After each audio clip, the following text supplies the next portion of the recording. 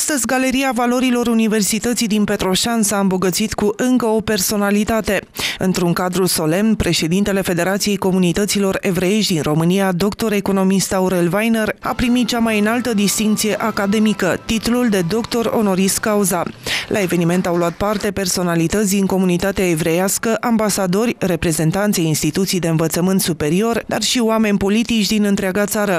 Aurel Weiner susține că acordarea acestei distinții de către conducerea Universității din Petroșani este o onoare. În semn de recunoaștere pentru realizările sale deosebite, pentru o carieră excepțională, Universitatea din Petroșani este onorată să acorde domnului dr. Aurel Weiner titlul de doctor honoris causa. Domnule dr. Aurel Weiner, vă felicităm pentru un alt titlu academic, doctor în semn de cinstire, pe care ne-am onorat să-l acceptați. Mazal Tov! Vă mulțumim, vă dorim multă sănătate, putere de muncă, bucurii și satisfacții. La mulți ani fericiți, pace, viață lungă, sănătate, putere, voință, speranță, încredere și iubire. Viva Crescat Floria, Magister Aurel Vainu.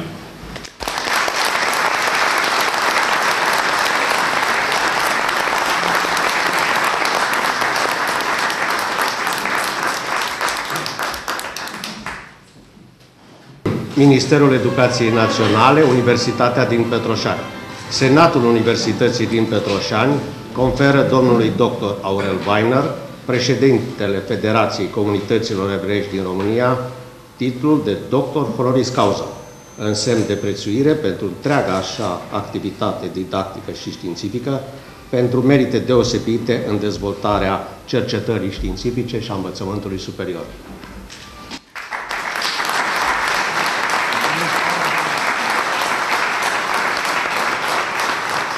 Simte una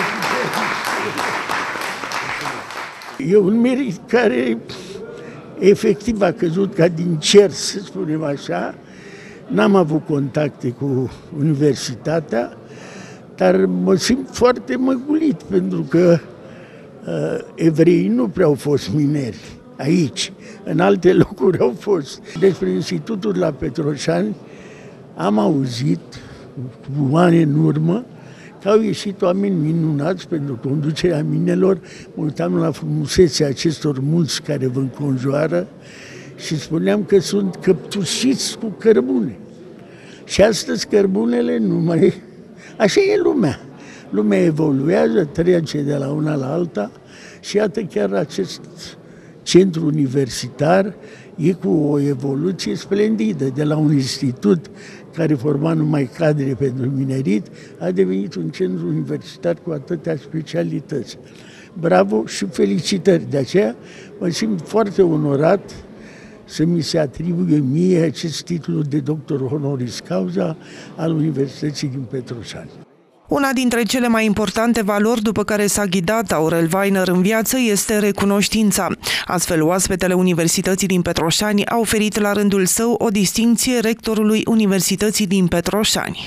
Mai avem pentru domnul profesor universitar, doctor inginer Sorin Mihai Radu, rectorul Universității din Petroșani, medalia de onoare, prieten al comunităților evreiești. Dă medalia. Ah, pardon. Vă rog să o deschideți.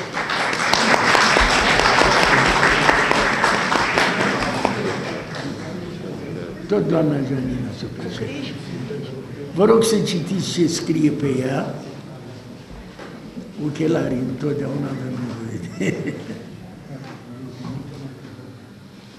Federația Comunităților Evrești din România, cultul mozaic, medalie de onoare iubitor de pace și iubitor de oameni, din învățăturile părinților.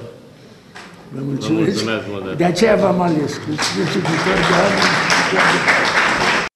Astăzi, la Petroșan, printre numeroasele personalități, alături de Aurel Weiner, a fost prezent și Rafael Șafăr, prim rabin al comunităților evreiești din România. Shalom, sunt onorat să vorbesc aici. Regele Solomon a fost încolonat la vârsta de 13 ani. De scurt timp după încolonare a avut un vis. A venit Dumnezeu în vis și a spus, cere de la mine ce vrei și îți vei da. vrei bogății, vrei e, să-ți dau răjmașii pe mâna ta, dacă regele Solomon a spus, și vei da robului tău o inimă ascultătoare. La care a răspuns Dumnezeu, pentru că aceasta ai cerut, vei primi o inimă ascultătoare, vei primi și bogății, și dușmanii vor, îi voi da pe mâna ta. Atât de mult s-a bucurat Dumnezeu că aceasta a fost a cerut regele Solomon. Dacă pot spune ceva despre domnul președinte Vaina, este inima ascultătoare. În ciuda e, tuturor realizărilor pe plan profesional, academic, politic, comunitar, economic, în ciuda lor pe lume. Cât urcăm mai sus, inima parcă se închide.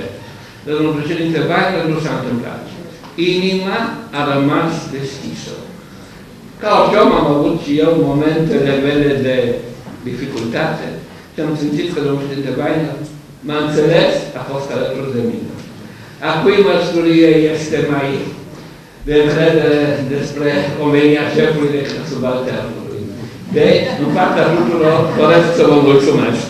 Rectorul Universității din Petroșani a încheiat unul dintre cele mai importante evenimente pe care instituția de învățământ superior din Valea Jiului le-a trăit în ultimii ani.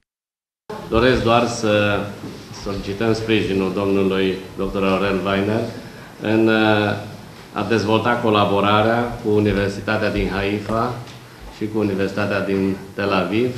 Aici vă înmânez două memorandumuri de colaborare și vă rugăm să ne sprijiniți în dezvoltarea acesteia.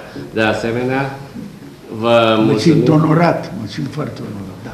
Vă mulțumim pentru colaborarea care o, o dezvoltați între Universitatea noastră și Universitatea București în dezvoltarea și uh, unui centru sau unei uh, uh, activități de cunoaștere și dezvoltare a evreilor din Valea Jiului și din județul Hunedoara, a cultului mozaic în județul Hunedoara. Vă mulțumesc, da, mulțumesc mult! mult.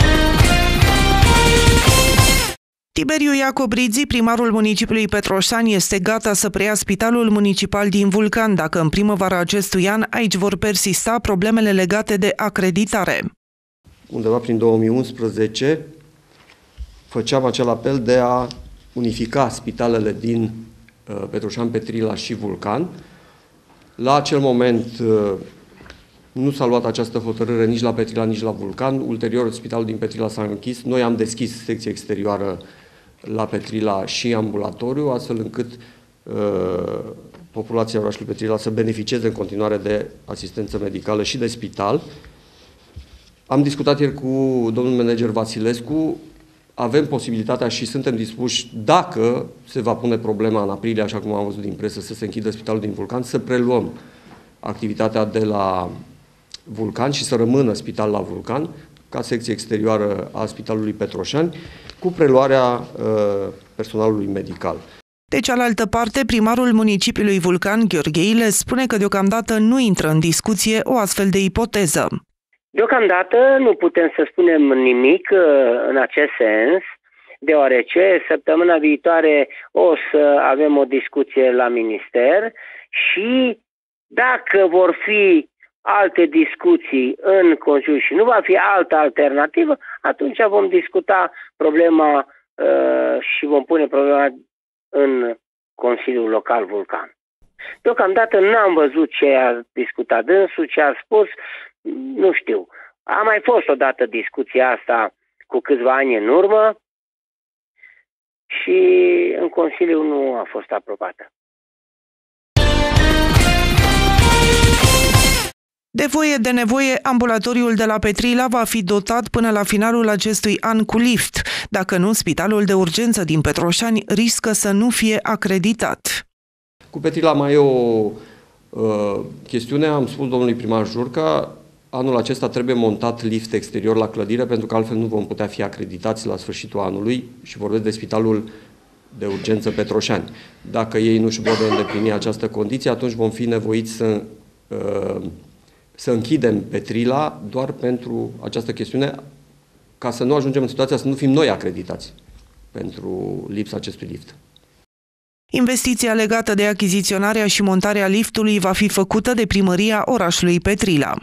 Știm de problema asta de anul trecut, din toamnă, am discutat cu, mi-a comunicat de fapt managerul Spitalului de Urgență din Petroșani, am făcut demersurile, am uh, dat drumul la achiziție pentru proiectare și zic eu că până în uh, primăvară-vară vom uh, monta liftul de la spital.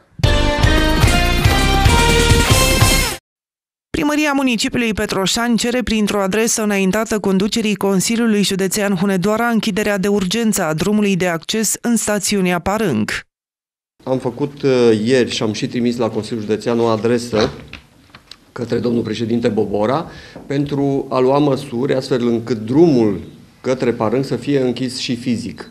Cel puțin uh, de la pilonul 17, dacă nu de jos, s-au făcut un program astfel încât uh, Uh, să nu mai fie acces auto, din două motive. Unul din motive este că au fost niște incidente legate de intrarea pe pârtie a unor uh, mașini.